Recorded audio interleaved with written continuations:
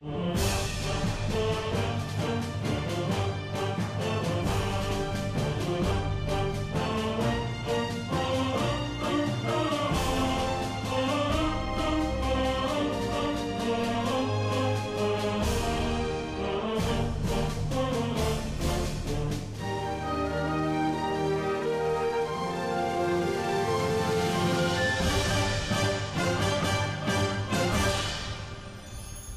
предыдущих сериях поджог Москвы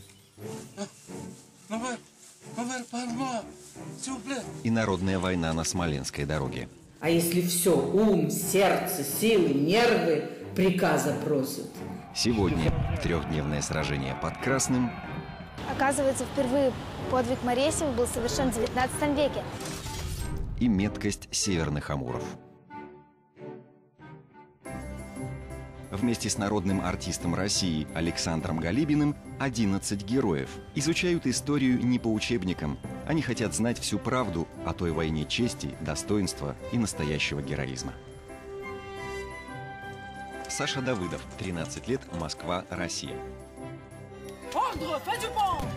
Валентин Садики, 13 лет, Москва, Россия. Артем Бабич, 13 лет, Москва, Россия. Никита Кищенко, 14 лет, Борисов, Беларусь. Назим Ташхужаев, 16 лет, Уфа, Россия.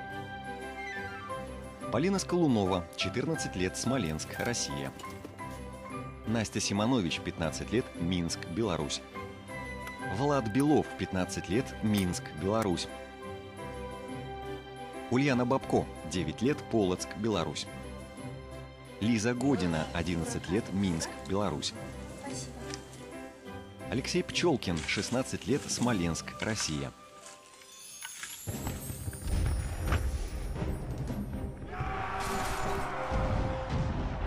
Наполеон вводил в бой все новые и новые части. И тогда Кутузов решил направить на помощь Докторову корпус Раевского.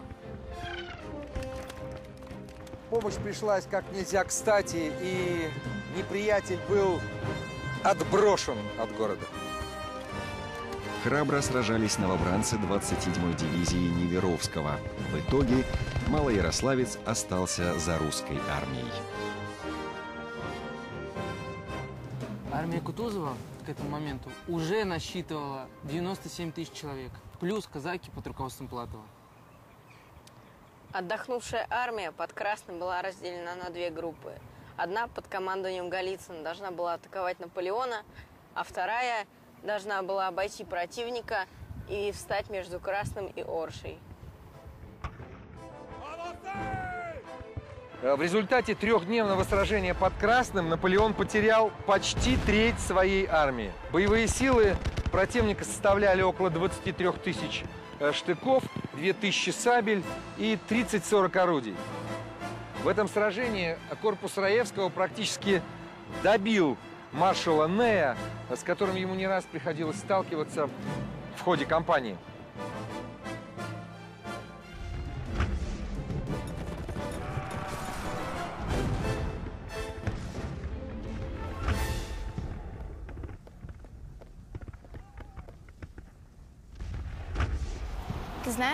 Оказывается, впервые подвиг Моресев был совершен в 19 веке.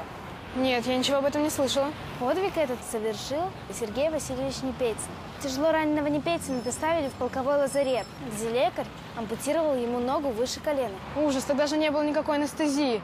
Два стакана водки и платок в рот, чтобы не откусить себе язык от боли.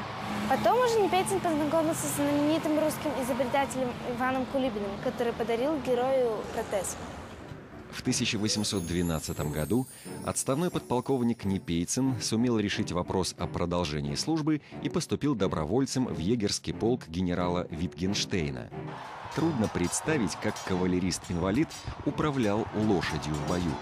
За героизм Сергей Васильевич был удостоен ордена Святого Георгия четвертой степени.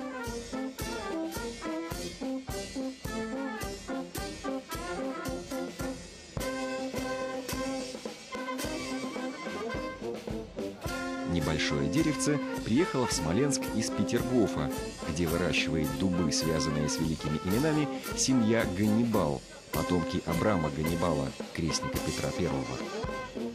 12 лет назад они собрали желуди на могиле Михаила Кутузова в польском городе Болеславцы и вырастили из них саженцы. И вот теперь один из них посажен у бюста великого русского полководца Михаила Кутузова в центре Смоленска.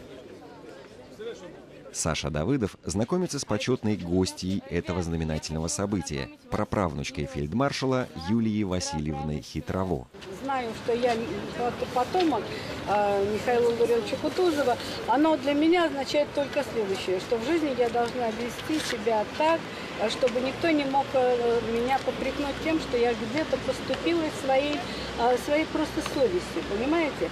То есть могут быть ведь ошибки в жизни, их может быть много, разных, но все эти ошибки все равно должны быть как бы связаны только с вами и не должны запятнать честь э, памяти твоих предков. Аллея героев 1812 года 200 лет спустя.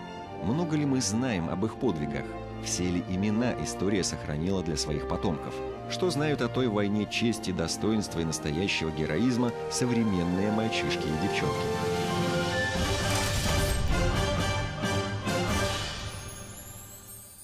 Скажите, а кто же все-таки выиграл войну 812 года? А, вот на этот вопрос я могу ответить точно, потому что изучал этот вопрос специально.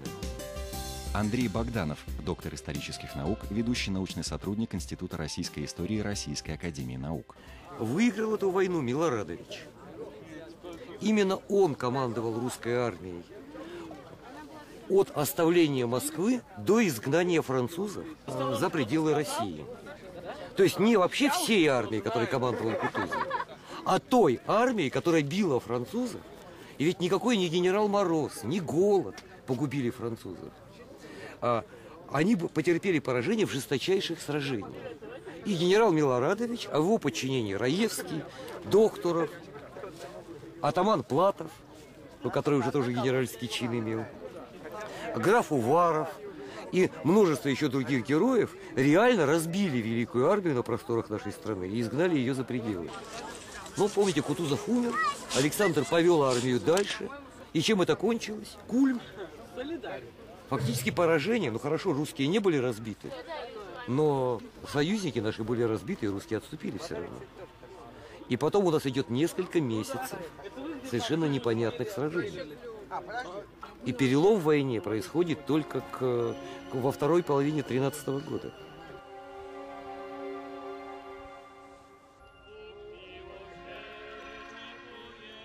Двести лет спустя под Смоленском на поле памяти торжественно перезахоронены останки 28 русских воинов и воинов армии Наполеона, павших в сражении при Лубино.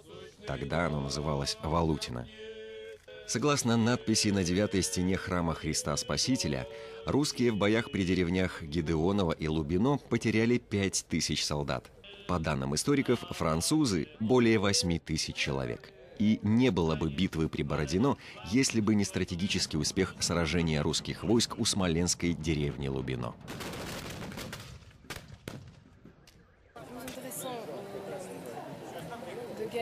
Мы интересуемся войной 1812 года. Да, Отечественная война, или, как ее еще называют во Франции, русская кампания, потому что сражение велось на одной стороне. Филипп Диспинуа, военный атташе по сухопутным войскам посольства Франции в России, полковник.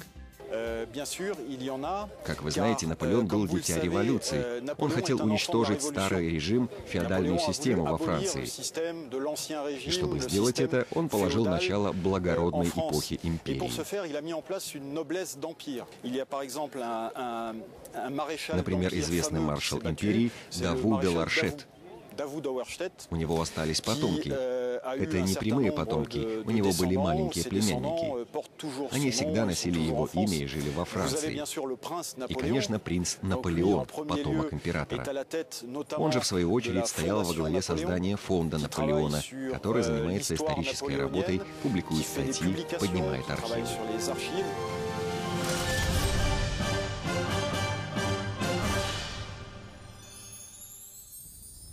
Чем вам интересна эта война? геройством русских простых людей, русских полков, русского солдата, который всегда отдавал свою жизнь за Родину. В то время служили по 25 лет. И брали обычно с тысячи человек, 10 человек брали на случай войны. И представьте себе, что полк это было большое соединение людей. В одном полку тогда служило э, где-то вот в военное время до двух тысяч человек. И причем половина из них была строевыми, которые маршировали, с ружьем ходили и так далее. А половина из них не строевые. Был священник, ему два помощника. Так? Потом были фельдшеры, кузнецы, которые подковывали. Да? Потом были фурлейтеры. Кто такие? Это извозчики, которые помогали, их называли, следили за лошадьми. Очень много было таких людей, которые сами не участвовали в бою, а обеспечивали службу в полку.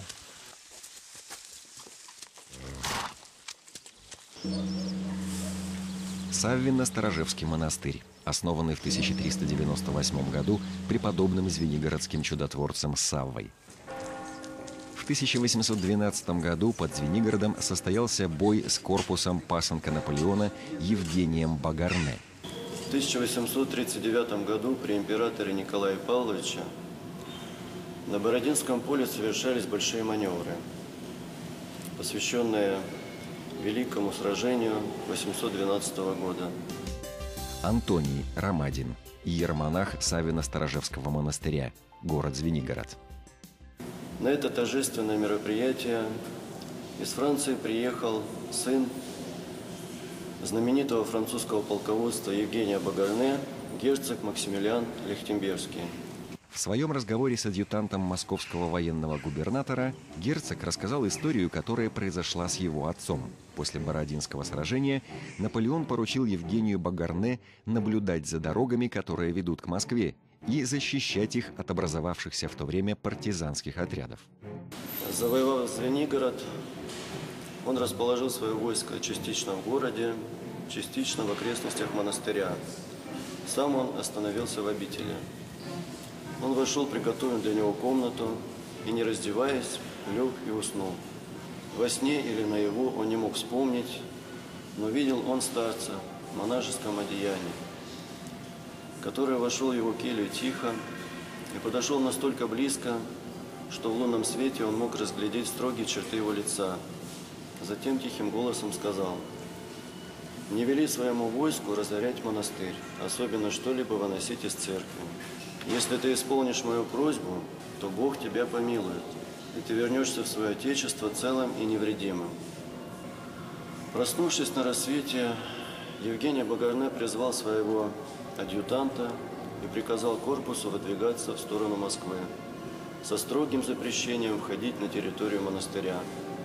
Войдя в храм, он увидел образ преподобного Савы и узнал того старца, того монаха, который приходил к нему ночью. Чей это образ, спросил он бывшего тут инока. Это Сава, основатель всей обители, тело которого почивает всей гробнице. После этого события принц Евгений Багарне участвовал почти во всех сражениях, начиная от Малоярославца до всем пути отступления французской армии из России. Ни в одном сражении он не был ранен и благополучно вернулся во Францию – где даже после падения власти Наполеона оставался всеми любим и уважаем. Сын его, герцог Максимилиан, женился на дочери российского императора Николая Павловича, Марии Николаевне, и остался в России – Максимилиан был президентом Академии художеств, заведующим горным институтом, учредил в Петербурге больницу. После смерти герцога Максимилиана Николай I приказал продать его баварские владения, а его детей включил в состав российской императорской фамилии и дал им титул князей Романовых. Жу!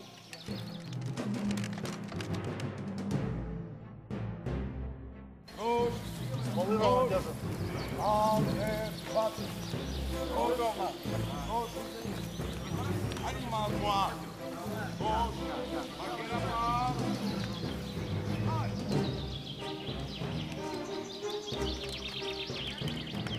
в начале XIX века по всей Европе прогремела слава башкирских воинов.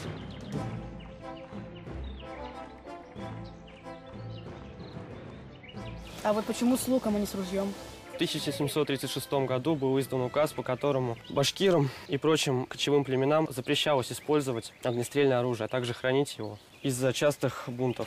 Но, может быть, были еще какие-нибудь оружия помимо лука? Башкиры очень любили пистолеты. Сабли, кинжалы, холодное оружие, пики. И сколько же башкир участвовало в Отечественной войне?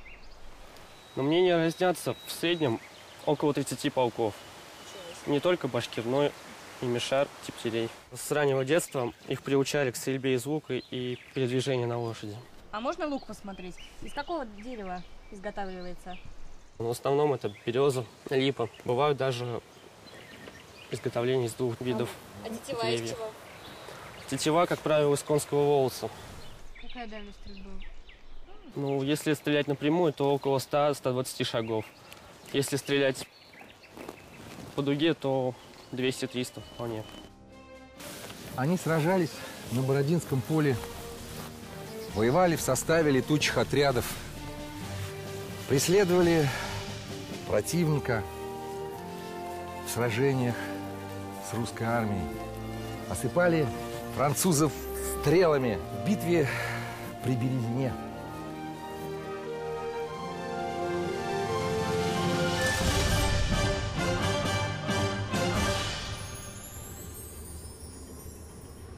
Участник проекта «Каникулы в историю» Саша Давыдов, изучая родословную, находит прямого потомка одного из самых прославленных героев Отечественной войны 1812 года Дениса Давыдова, о храбрости и удачливости которого слагали легенды. Здравствуйте. Здравствуйте, я Саша. Еще при Павле I одними из первых Давыдовы стали рыцарями Мальтийского ордена. От Дениса Давыдова его потомку в пятом колене Ярославу по наследству достался почетный герб. Отец Дениса Давыдова, командир легкоконного полтавского полка, купил деревеньку Бородино Подмосковье. Ярослав Давыдов, прямой потомок Дениса Давыдова. Я читал, что Суворов пророчил Денису Давыдову победу в трех сражениях. Тогда Денис Давыдов выколол глаз дядьке, а потом проткнул шлык няне и обрезал хвост собаке, чтобы исполнить э, все пророчество. Правильно. Было такое дело. Но не надо забывать, что самому Денису Васильевичу за это очень здорово попало. До сих пор из уст в уста рассказываются легенды о Денисе Давыдове. Когда русские войска входили в какой-нибудь город, то все жители выходили на улицу, чтобы увидеть прославленного партизана. За бой при подходе к Парижу, когда под Давыдовым было убито пять лошадей, он вместе со своими казаками все же прорвался к французской артиллерийской батарее и, изрубив неприятеля, решил исход сражения. И герою присвоили чин генерал-майора. Eskide gümmer şuvayute Уфтанма, уфтанма, уфтанма. Песня твоих предков? Да, это песня моих далеких предков, северных Амуров. Какое красивое прозвище у твоих далеких предков. Да, в 1807 году Александр I на смотре войск показал Наполеону отряд конных башкирских лучников. Они, в свою очередь, подкинув вверх шапку, на всем скаку пронзили ее стрелами. И подарили эту шапку Наполеону. Наполеон был очень испуган и удивлен. И прозвал их северными Амурами. Ну что, Северный Амур, дай посмотреть. Так, держи. Как тут правильно стрелять? Берешь лук левую руку, стрелу Ну, знаю, знаю. правую, натягиваешь. Ага, давай. Кидай мне шапку. Готово? Угу. Раз, два, три.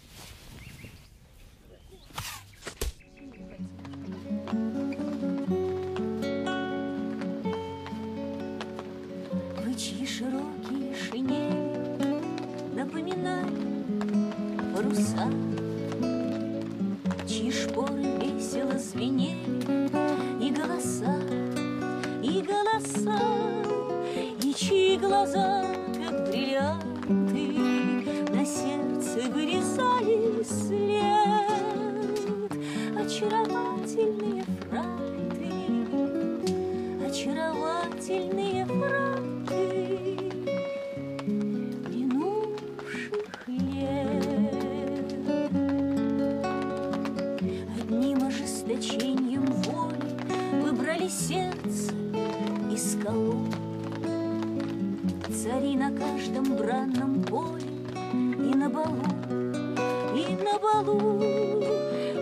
все вершины были малы, И мягок самый черствых лет.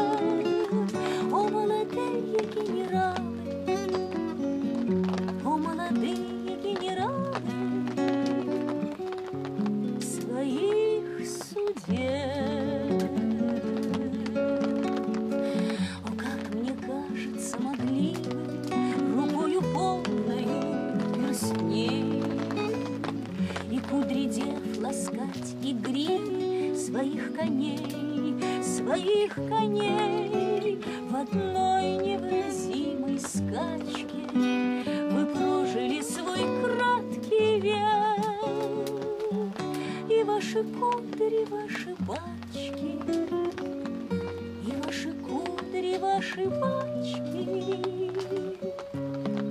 Засыпал Первое, что ослабляло боевую способность наполеоновской армии, это московское наследие, которое так стремился создать Кутузов. Конечно, армия уже тогда начала терять дисциплину. Колонна, напоминающая караван кочевников, с награбленным богатством, с женщинами и с детьми, уже мало поддавалась угрозам Наполеона. Ну, конечно, это сейчас тепло. Тогда в конце ноября была метель. Нет, ну в чем же, по-вашему, заключается гибель наполеоновской армии? В отсутствии дисциплины, в холоде? Знаете, я считаю, что холод здесь ни при чем. Дело в том, что французы и воевавшие с ними и португальцы, и испанцы были приучены к суровым холодам, поскольку жили в неотапленных комнатах. Главной причиной гибели все-таки стало отсутствие теплой одежды, горячего питания, ну и водки, без которой нельзя было обойтись, постоянно находясь на холоде.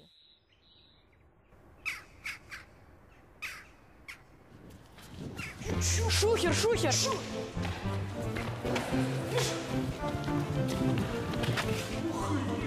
Император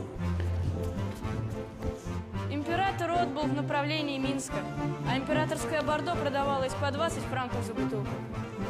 Колючий морозный воздух пробирал до костей. Голодные, окоченевшие солдаты и беженцы шли на штурм складов.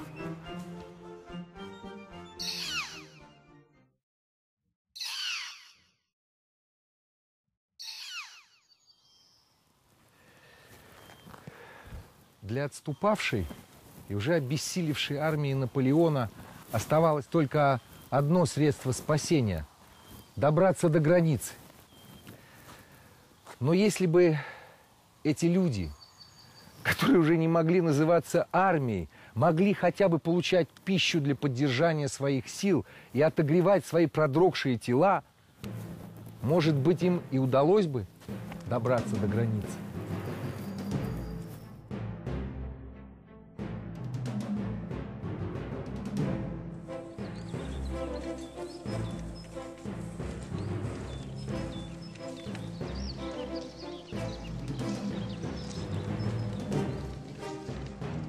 Еще летом русское командование разработало план контрнаступления. План подразумевал собой окружение Ура!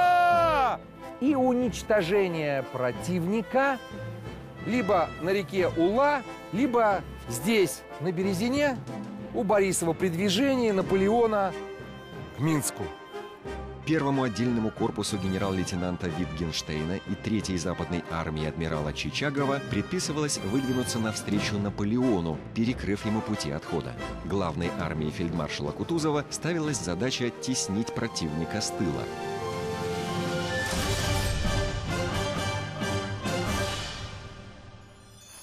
Смотрите в заключительной серии. Катастрофа на Березине и тайна золота Наполеона. Ничего нет, только это.